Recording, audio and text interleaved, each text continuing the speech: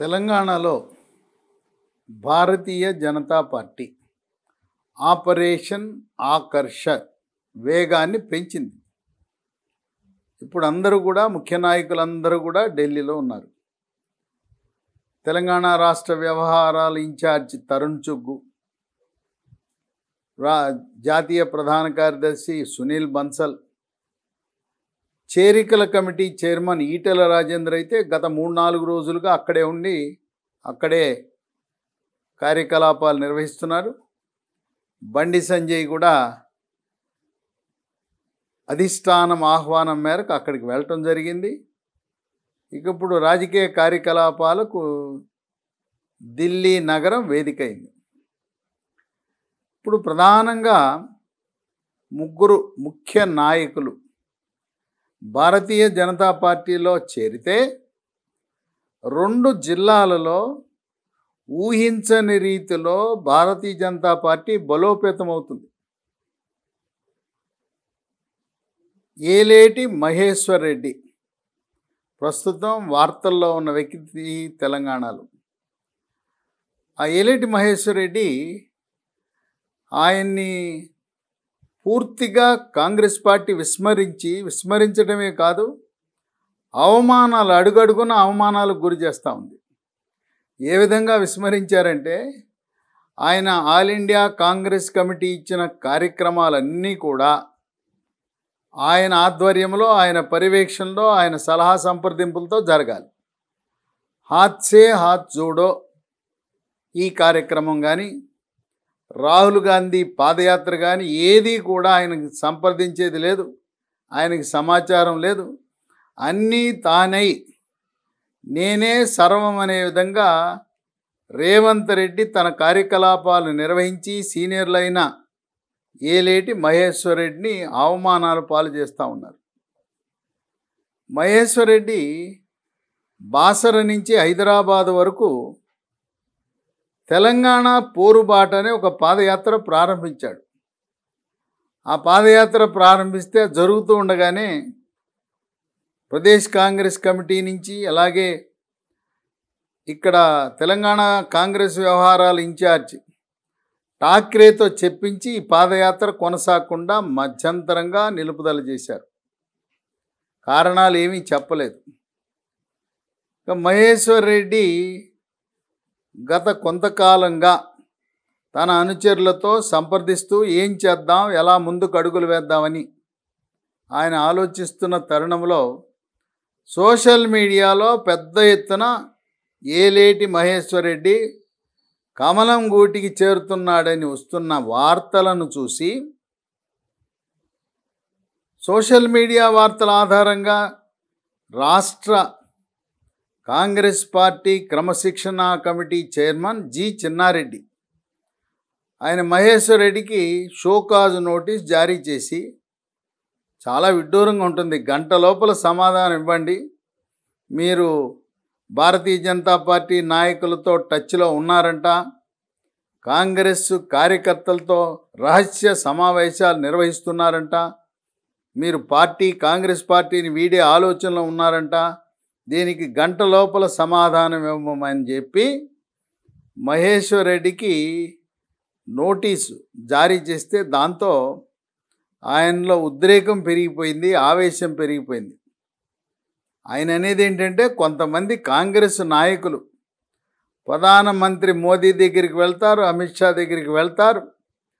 వాళ్ళు కలిసినట్టుగా ఫోటోలు వీడియోలు సోషల్ మీడియాలో ఎలక్ట్రానిక్ మీడియాలో వచ్చినా కూడా వాళ్ళపై ఎటువంటి చర్యలు ఉండవు సోషల్ మీడియాలో వచ్చిన సమాచారం ఆధారంగా నన్ను అవమానపరిచే విధంగా షోకాజ్ నోటీస్ ఇచ్చారని చెప్పి మహేశ్వర్ రెడ్డి ఆయన ఢిల్లీకి వేదిక మార్చారు. ఈయన గతంలో రెండు వేల తొమ్మిది సంవత్సరంలో ప్రజారాజ్యం పార్టీ తరపున మొట్టమొదటిగా శాసనసభ్యుడిగా ఎన్నికయ్యాడు. అంతకుముందు ఆయన రాజకీయాల్లో లేడు. ఈయన విద్యా సంస్థలు నిర్వహిస్తున్నారు. ఒక వైద్య కళాశాలను కూడా పటాన్ చెరువు స- ప్రా సమీపంలో ప్రారంభించడం జరిగింది మహేశ్వర్ రెడ్డి. రెండు వేల తొమ్మిదిలో గెలిచిన తర్వాత మెగాస్టార్ చిరంజీవి పిఆర్పి పార్టీని కాంగ్రెస్లో రెండు వేల పన్నెండులో విలీనం చేసిన తర్వాత అప్పుడు కాంగ్రెస్లోనే కొనసాగుతూ రెండు వేల పద్నాలుగులో ఈయనకి ఇంద్రకరణ ఇంద్రకరణ్ రెడ్డికి మధ్యలో హోరాహోరీ జరిగింది సీటు విషయంలో. సీనియర్గా ఉన్న ఇంద్రకరణ్ రెడ్డిని కాదని ఏలేటి మహేశ్వర్ రెడ్డికి రెండు వేల పద్నాలుగులో కాంగ్రెస్ సీటుని అప్పట్లో ఉత్తమ కుమార్ రెడ్డి ఈయనకు బాగా సహాయపడ్డాడనే వార్తలు ఉన్నాయి నేటికి కూడా ఏలేటి మహేశ్వర్ రెడ్డి ఉత్తమ కుమార్ రెడ్డితో సత్సంబంధాలు కలిగి ఆయన యొక్క డైరెక్షన్లో పనిచేస్తూ వచ్చాడు. అదే కాకుండా కోమటిరెడ్డి రాజగోపాల్ రెడ్డికి బంధుత్వం ఉంది. బాగా దగ్గర సంబంధాలు ఉన్నాయి. చట్టాపట్టాలు వేసుకుని ఇద్దరు కూడా స్నేహితులు కోమటిరెడ్డి రాజగోపాల్ రెడ్డి. అలాగే ఈటెల రాజేందర్తో కూడా మంచి స్నేహ సంబంధాలు ఉన్నాయి. ఇటువంటి తరుణంలో ఆయన కార్యకర్తలందరినీ సమావేశపరిచి సెల్ ఫోన్లు ఎవరు రాకుండా తేకుండా లోపలికి తేకుండా చేసి వాళ్ళ అభిప్రాయం అడిగితే మనము బీజేపీకి వెళ్ళాలి అని ఎక్కువ మంది చెప్పారు. కనుక ఆయన బీజేపీలో చేరటానికి దాదాపు నిర్ణయం జరిగింది. ఢిల్లీలో తరుణ్ చుగ్ నివాసానికి వెళ్ళి మంతనాలు జరిపి ఆయనకి దాదాపుగా నిర్మల్ సీట్లో పోటీ చేయటానికి సీటు ఖరారు. ఆయన భారతీయ జనతా పార్టీ తరపున నిర్మల్లో పోటీ చేయబోతున్నాడు. ఇదిలా ఉంటే క్రమశిక్షణ committee chairman G Chinna Reddy Eleti Maheshwar Reddy వెళ్ళిపోతున్నాడు. ఇప్పటికే బీఆర్ఎస్ పార్టీలో అసంతృప్తి నేత. ఆయన కుచ్చడి శ్రీహరిరావు. ఆ శ్రీహరిరావు గతంలో టీఆర్ఎస్ పార్టీ తరపున రెండు వేల తొమ్మిది రెండు వేల పద్నాలుగులో పోటీ చేసి ఓడిపోయాడు. ఆయన బహిరంగంగానే మంత్రి ఇంద్రకరణ్ రెడ్డిపై యుద్ధం ప్రకటించాడు. ఆత్మీయ సమ్మేళనలో బహిరంగంగా ఆయన అసహనాన్ని ఆయన యొక్క కోపతాపాలను ప్రదర్శించాడు. హైకమాండ్ దృష్టిలో కూడా శ్రీహరిరావు అసంతృప్తిగా ఉన్నాడు. ఎప్పుడైనా పార్టీ వీడే అవకాశం ఉందని హైకమాండ్ బీఆర్ఎస్ హైకమాండ్ దృష్టిలో కూడా ఉంది. ఈ క్రమశిక్షణా కమిటీ చైర్మన్ జి చిన్నారెడ్డి శ్రీహరిరావుతో మాట్లాడి మహేశ్వరరెడ్డి పార్టీ వదిలి వెళ్తున్నాడు. నిన్ను కాంగ్రెస్ పార్టీలో చేర్చుకుని కాంగ్రెస్ అభ్యర్థిగా నీకు టిక్కెట్ ఇస్తామని మాట్లాడటం జరిగింది. అంటే ఇక రెండు ఈ సంవత్సరం జరిగే డిసెంబర్ నవంబర్ డిసెంబర్ ఎన్నికల్లో మంత్రి ఇంద్రకరణ్ రెడ్డి బీఆర్ఎస్ పార్టీ తరపున కమలం పార్టీ తరపున ఏలేటి మహేశ్వర్ రెడ్డి కాంగ్రెస్ పార్టీ తరపున బీఆర్ఎస్ పార్టీని విడనాడి ఈ పార్టీలో చేరితే కుచ్చడి శ్రీహరిరావు పోటీ చేసే అవకాశం ఉంది ఎప్పుడైతే శ్రీహరిరావు ఆయన అసంతృప్తిని అసమ్మతిని వెళ్ళగక్కాడో నిర్మల్ నియోజకవర్గంలో బీఆర్ఎస్ పార్టీ దాదాపు బీటలు వారినట్లయింది. రెండు వేల పద్నాలుగులో ఇంద్రకరణ్ రెడ్డికి కాంగ్రెస్ పార్టీ టికెట్ ఇవ్వనప్పుడు ఆయన ఏనుగు గుర్తుపై బహుజన సమాజ్ పార్టీ తరపున రెండు వేల పద్నాలుగులో పోటీ చేసి గెలిచాడు. ఈయనతో పాటు సిరిపూర్ కాగజ్ నగర్లో ఉండే కోనేరు కోనప్ప ఇద్దరు కూడా బీఎస్పీ పార్టీ తరపున పోటీ చేసి తదుపరి రెండు వేల పద్నాలుగు గెలిచిన తర్వాత ఇద్దరు కూడా టీఆర్ఎస్ పార్టీలో ఆ రోజు చేరడం జరిగింది. కనుక మంత్రికి కష్టకాలమే. ఎందుకంటే మంత్రి కంటే ముందు ఉద్యమ సమయం నుంచి పార్టీలో పనిచేసిన ప్రజాదరణ కలిగిన శ్రీహరిరావు బీఆర్ఎస్ పార్టీని విడితే ఎట్టి పరిస్థితులలో బీఆర్ఎస్ నిర్మల్లో విజయం సాధించటం అనేది అసంభవం. ఇక ఉమ్మడి ఆదిలాబాద్ జిల్లాలో కాంగ్రెస్కు దిక్కు ఇద్దరే ఉన్నారు. ఒకటి మహేశ్వర్ రెడ్డి మరో పక్క ప్రేమ్ సాగర్ రావు. వీళ్ళిద్దరూ కూడా ప్రేమ్ సాగర్ రావు మహేశ్వర్ రెడ్డి ఇద్దరు కూడా నిప్పు ఉప్పులా ఉంటారు. ఎప్పుడూ వివాదాలు ఒకరంటే ఒకరికి సరిపోదు. రెండు గ్రూపులుగా చీల్చేశారు కాంగ్రెస్ పార్టీని. అందువల్ల మహేశ్వర్ రెడ్డితో ఉన్న నాయకులు కాంగ్రెస్ పార్టీ నాయకులందరూ కేవలం నిర్మల్ నియోజకవర్గమే కాదు. ఉమ్మడి ఆదిలాబాద్లో కాంగ్రెస్ పార్టీలో సగభాగం. ఎవరైతే ఇప్పటి వరకు మహేశ్వరరెడ్డి అడుగుజాడల్లో నడుస్తూ ఉన్న నాయకులు శ్రేణులందరూ కూడా భారతీయ జనతా పార్టీలో చేరతారు. ఇప్పటికే ఆదిలాబాదు ఉమ్మడి ఆదిలాబాదులో బీజేపీ చాలా బలంగా ఉంది. సోయం బాబురావు ఎంపీగా గెలిచాడు. తదుపరి మాజీ ఎంపీ రమేష్ రాథోడ్ కూడా ఈ పార్టీలో చేరాడు.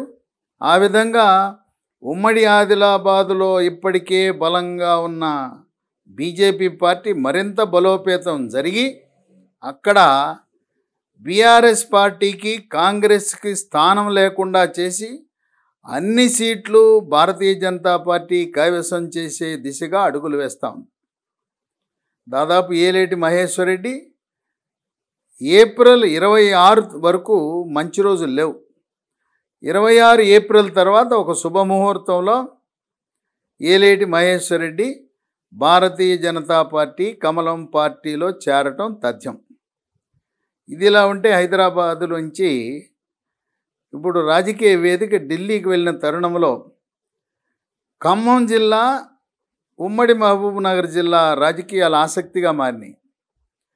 ఉమ్మడి మహబూబ్ నగర్ జిల్లాలో మాజీ మంత్రి సీనియర్ నాయకుడు జూపల్లి కృష్ణారావు. ఆయనతో డీకే అరుణ ఫోన్లో మాట్లాడింది. ఫోన్లో మాట్లాడటమే కాదు ఇఫ్తారు విందు పెట్టి ఇఫ్తారు విందుకి జూపల్లి కృష్ణారావుని ప్రత్యేకంగా ఆహ్వానించి వాళ్ళిద్దరూ కూడా కొంతసేపు ప్రత్యేకంగా రహస్య సమాలోచనలు జరిగినాయి వారిద్దరి మధ్యలో.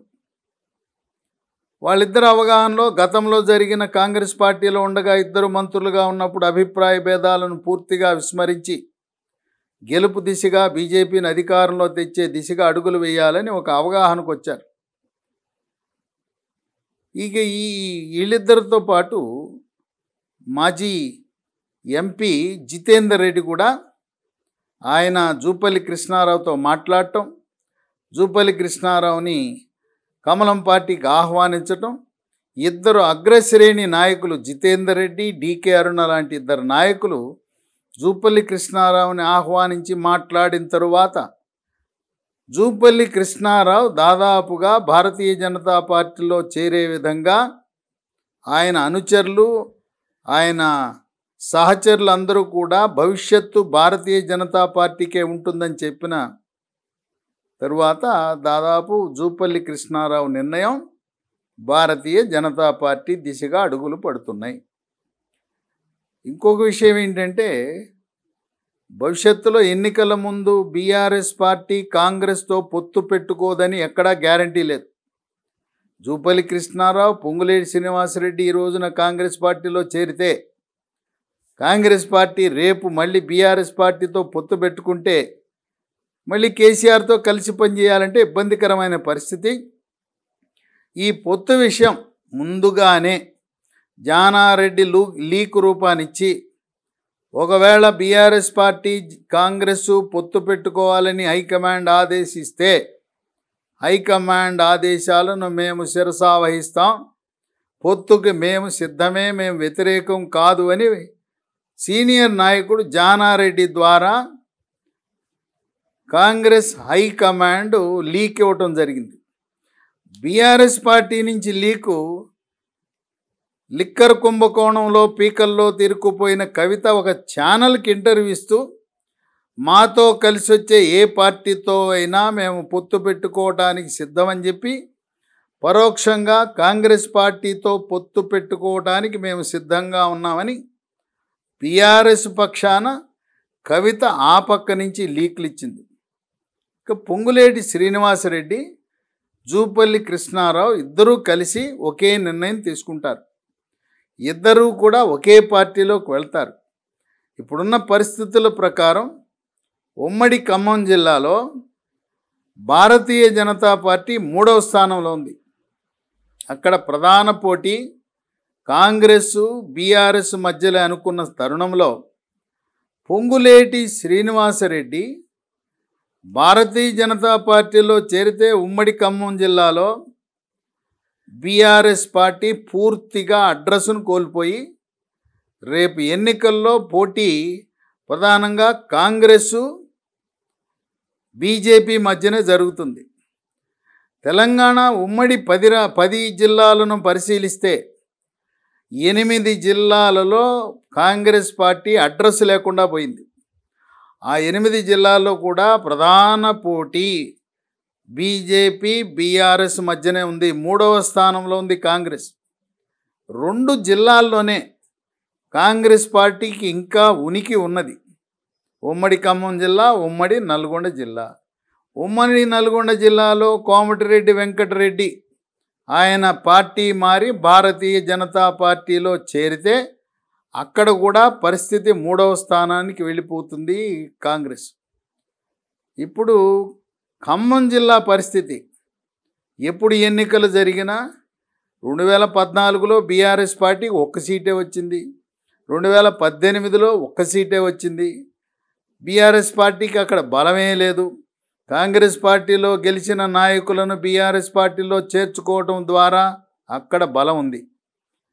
ఈ సంవత్సరం జరిగే అసెంబ్లీ ఎన్నికల్లో ప్రధానంగా కమ్మడి ఖమ్మం జిల్లాలో పొంగులేటి శ్రీనివాసరెడ్డికి ఈ అభ్యర్థులను ఎంపిక చేసే అవకాశం ఇస్తే ఆర్థిక వనరులు కూడా ఆయనే సమకూర్చి పది సీట్లలో కనీసము ఐదు ఆరు సీట్లు గెలిపించే సత్తా ఉన్నది. ఓసీలకు బీసీలకు మూడే సీట్లు ఉన్నాయి ఉమ్మడి ఖమ్మం జిల్లాలో. కొత్తగూడెం పాలేరు ఖమ్మం ఖమ్మం సిటీ. ఇక పొంగులేటి శ్రీనివాసరెడ్డి ఆయన ఖమ్మం సిటీ నుంచి కానీ కొత్తగూడెం నుంచి కానీ పోటీ చేయాలనే ఆలోచన ఉంది. ఎక్కడ పోటీ చేసినా ఈ రెండు స్థానాల్లో ఎక్కడ పోటీ చేసినా పొంగులేటి శ్రీనివాసరెడ్డి గెలుపు అనేది తథ్యం. ఇక పాలేరు నియోజకవర్గానికి వస్తే అక్కడ ఆసక్తికరం. అక్కడ షర్మిల పార్టీ షర్మిల నిలబడాలనుకుంటా ఉంది పాలేరులో. కేసీఆర్ ఏమో రహస్యంగా నీకే అన్నా సీట్ అని చెప్పి తుమ్మల నాగేశ్వరరావుకు చెప్పాడు. బహిరంగ ప్రకటన ప్రకారం సిట్టింగులకే ఇస్తానని చెప్పి ఉపేందర్ రెడ్డిని ఊరిస్తున్నాడు. ఆఖరి నిమిషంలో తుమ్మల నాగేశ్వరరావుకి బీఆర్ఎస్ టికెట్ ప్రకటించి ఉపేందర్ రెడ్డిని ఓదార్చి నీకు ఎమ్మెల్సీ ఇస్తా కార్పొరేషన్ ఇస్తా రాజ్యసభ ఇస్తా ఆ విధంగా ఆయన్ని ప్రలోభ పెట్టడానికి ప్రయత్నం చేస్తారు. అందువల్ల ఉపేందర్ రెడ్డి తనకు సీటు రాదని దాదాపు తెలిసిపోయింది. తుమ్మలకే సీట్ అనేది తెలిసింది. కనుక ఉపేందర్ రెడ్డి పాలేరు నియోజకవర్గం నుంచి పొంగులేటి శ్రీనివాసరెడ్డి సలహా మేరకు భారతీయ జనతా పార్టీ నుంచి పోటీ చేస్తే తుమ్మల నాగేశ్వరరావుకి గడ్డు పరిస్థితే రెండు వేల పద్దెనిమిదిలో ఏ విధంగా ఓటమి చెందాడో అదే పరిస్థితి పునరావృతము కావచ్చని విశ్లేషకులు భావిస్తున్నారు. కొత్తగూడెం ఖమ్మం పాలేరు ఈ మూడు నియోజకవర్గాల్లో భారతీయ జనతా పార్టీ పొంగులేటి శ్రీనివాసరెడ్డి ఆధ్వర్యంలో విజయం సాధించడం తథ్యం.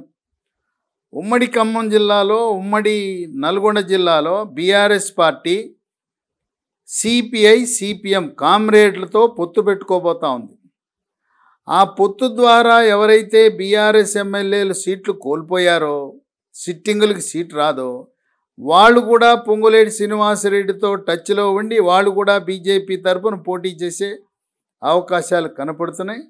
అందువల్ల దాదాపు పొంగులేటి శ్రీనివాసరెడ్డి జూపల్లి కృష్ణారావు వీళ్ళిద్దరూ కూడా ముహూర్తము నిర్ణయించుకుని పార్టీలో చేరటం దాదాపు ఖాయము ఖరారి. అయితే వాళ్ళు కొన్ని మాట్లాడుకుంటారు. జేపీ నడ్డా అమిత్ షాతో అలాగే తరుణ్ చుగ్గు సునీల్ బన్సల్తో మాట్లాడినప్పుడు పొంగులేటి శ్రీనివాసరెడ్డి ఈ పది స్థానాలలో నేను కూడా గెలిచే అభ్యర్థులనే పెడతాను. వాటి సీట్ల ఎంపికలో నా ప్రమేయం ఉండాలి అని కోరతాడు. రెండోది ఉమ్మడి నల్ ఉమ్మడి ఖమ్మం జిల్లా నుంచి గెలిచిన తర్వాత పొంగులేటి శ్రీనివాసరెడ్డిని మంత్రివర్గంలో తీసుకోవాలనే ఆలోచన కూడా ఆయన హైకమాండ్ దగ్గర పెడతారు. పొంగులేటిని తీసుకుని గెలిచిన తర్వాత ప్రభుత్వం ఏర్పడిన తర్వాత ఉమ్మడి ఖమ్మం జిల్లా నుండి పొంగులేటి శ్రీనివాసరెడ్డికి మంత్రి పదవి ఇవ్వటానికి ఎటువంటి అభ్యంతరం ఉండదు. ఉమ్మడి మహబూబ్ నగర్ జిల్లాలో ఉండే జూపల్లి కృష్ణారావు కూడా నాకు కొల్లాపూర్ సీట్ ఇస్తామా అంటే ఇస్తారు. జూపల్లి కృష్ణారావు బీజేపీ తరపున పోటీ చేస్తే అక్కడ ఉండే హర్షవర్ధన రెడ్డి గెలిచే ప్రసక్తే లేదు. ఆయన కాంగ్రెస్ పార్టీ నుంచి గెలిచాడు జంప్ చేసి బీఆర్ఎస్లోకి వచ్చాడు. ఆయన జూపల్లి కృష్ణారావుతో పోలిస్తే అంత ప్రజాదరణ కలిగిన వ్యక్తి కాదు. ఆయనకి రాజకీయాల్లో కొత్త. ఆయన మళ్ళీ ఇంకొకసారి శాసనసభలోకి వెళ్ళే అవకాశము హర్షవర్ధన్ రెడ్డికి కలగదు. హర్షవర్ధన్ రెడ్డి నిరంజన్ రెడ్డి ఇద్దరు వాళ్ళిద్దరూ కలిసి జూపల్లి కృష్ణారావుకి పొమ్మనలేక పొగబెట్టి బయటికి పంపించారని జూపల్లి కృష్ణారావు బహిరంగంగానే విమర్శలు చేస్తున్నాడు. కనుక ఉమ్మడి మహబూబ్ నగర్ జిల్లా నుంచి జూపల్లి కృష్ణారావుకి ఎమ్మెల్యే సీటే కాదు. ఆయన చెప్పిన అనుచరులకు కొంతమందికి గెలుపు అవకాశాలున్న గెలుపు గుర్రాలకు సీట్లు ఇవ్వటమే కాక జూపల్లి కృష్ణారావు కూడా బీజేపీ ప్రభుత్వం ఏర్పడిన తర్వాత మంత్రివర్గంలో స్థానము కోరటం సహజమే. హైకమాండ్ సునీల్ బన్సల్ కానీ జేపీ నడ్డా కానీ అమిత్ షా కానీ వాళ్ళిద్దరికీ స్థానము మంత్రివర్గంలో కల్పించటానికి సూత్రప్రాయంగా అంగీకరించే అవకాశం ఉంది. ఏదేమైనా కొంతమంది మీకు ఎక్కడా ఎక్కడ అభ్యర్థులు ఎక్కడున్నారు బీజేపీకి పోటీ చేయడానికి నాయకులు ఎక్కడుంటున్నారు ఎక్కడున్నారు లేరు కదా లేరు కదా అన్న తరుణంలో ముగ్గురు బలమైన నాయకులు రెండు జిల్లాలను శాసించే విధంగా చేరడం ఇదే విధంగా ఎన్నికల నోటిఫికేషన్ వచ్చే సమయానికి మరొక యాభై మంది బీఆర్ఎస్ పార్టీ నాయకులు భారతీయ జనతా పార్టీలో చేరి ఆ వారి నియోజకవర్గాల్లో పోటీ చేయటానికి సిద్ధంగా ఉన్నారు. కనుక ఎక్కడున్నారు ఎక్కడున్నారని అనుమానం కలిగే వాళ్ళకి బీఆర్ఎస్లో అసంతృప్తితో ఉన్న బలమైన నాయకులు గెలుపు గుర్రాలే. భారతీయ జనతా పార్టీ అభ్యర్థులు కాబోతున్నారు. ఇలా ముందుకు సాగుతూ ఉంటే తిరుగులేదు సరిలేరు నాకెవరనే విధంగా కమలం పార్టీ బలోపేతమై ఆపరేషన్ నైంటీ తొంభై సీట్లు గెలవాలనే లక్ష్యంతో ముందుకు సాగుతూ డెబ్బై సీట్ల వరకు మాత్రం ఏమాత్రం డోకా లేదు. డెబ్బై సీట్లతో గెలిచి అధికారంలోకి వస్తుందని విశ్లేషకులు భావిస్తున్నారు.